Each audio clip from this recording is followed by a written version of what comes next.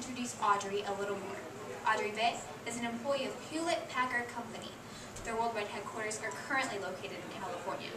Their company provides services, products, and other technology to consumers, businesses, and large enterprises. This is correct. According to 2012 unit sales, HP is the world's largest PC vendor.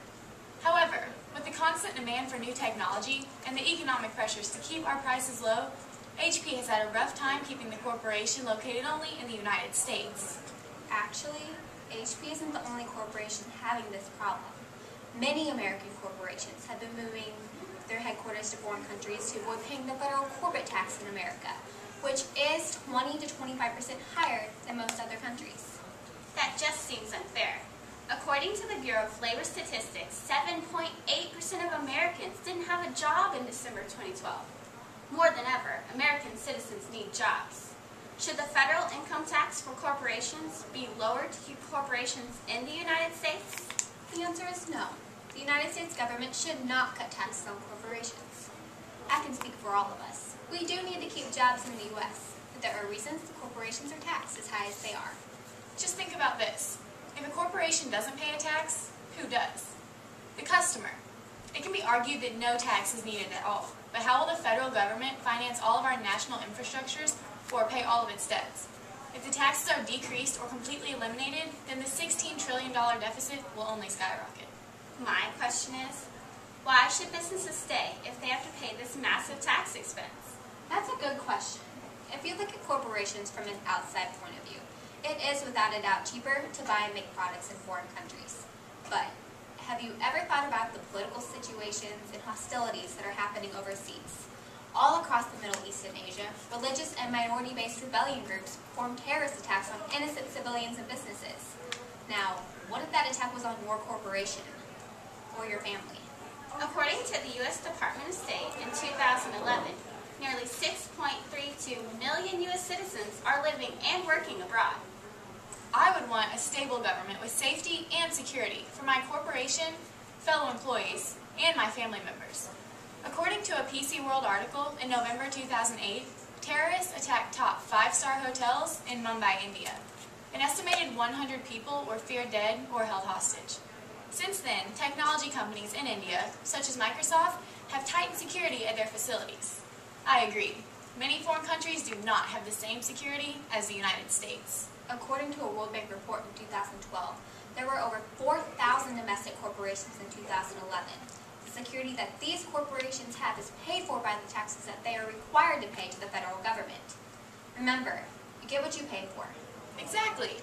Americans have high expectations and want high quality products.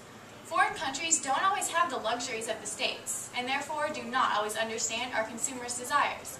Keeping manufacturing facilities in the United States allows for consumers' concerns to be effectively met. And the manufacturing of products here in America creates jobs, which give money to the people to pay to the America's economy. It's a complex cycle. A corporation is only taxed on the profit it earns. It doesn't take tax away from an employee's paycheck. If the government was to lower tax rates, the tax would in turn have to come from somewhere else, and that place would most likely be the individual. You can't count increased business activity before it happens.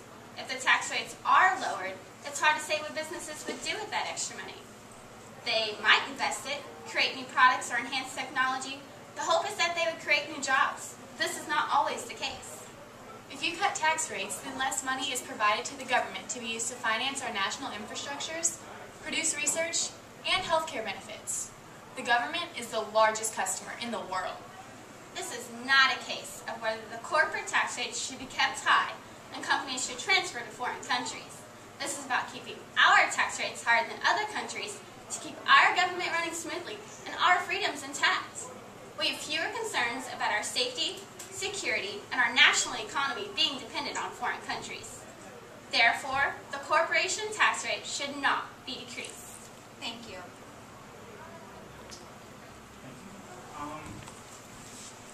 What if the only resource, uh, recourse for a corporation is to pass it on to the customer?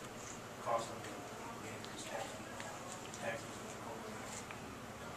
I think Made in America is enough to pay for. Having spending a little extra money for good quality product here in America is worth paying a little extra for being made in America.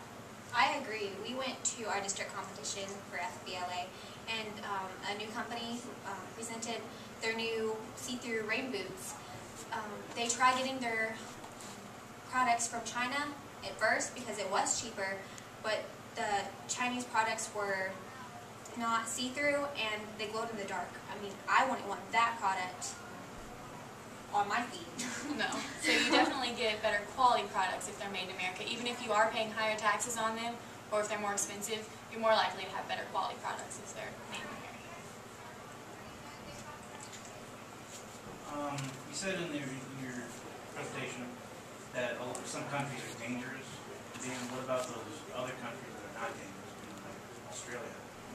Uh, we haven't heard too much geopolitical strife in Australia. That is true. But um, you have to think about the European countries and the other countries over there also have a VAT tax known as a value added tax on their products. And so from a perspective, from our perspective, it, it does look lower. However, with their value added tax, their taxes are approximately about the same as our tax. In some of those countries that are less dangerous, they probably aren't as populated, so there wouldn't be as many corporations there anyway, because that's not where all the business is focused around. So that's probably one of the main reasons you don't hear much about them. But a lot of places corporations would be going is places that would possibly be more dangerous. You also don't know what kind of rights the people have in that country. Like, what is the punishment for certain things? I mean, here in America, we're safe. We have our government to depend on. And I know there are other co- corporations in Australia, but most of the corporations that um, we know, like Microsoft and Dell, are in China and India and some of those highly populated areas.